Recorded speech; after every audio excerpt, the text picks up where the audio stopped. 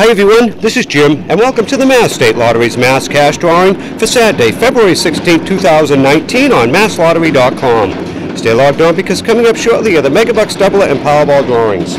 Now let's see how you did in tonight's Mass Cash Drawing. Our first number up is number 22. And following that we have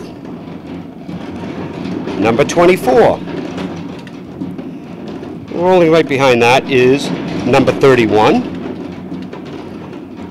Up next is 15. And the final ball in this sequence is number 34.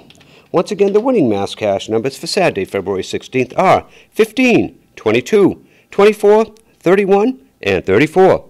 We'll see you shortly for the Megabucks Doubler and Powerball drawings.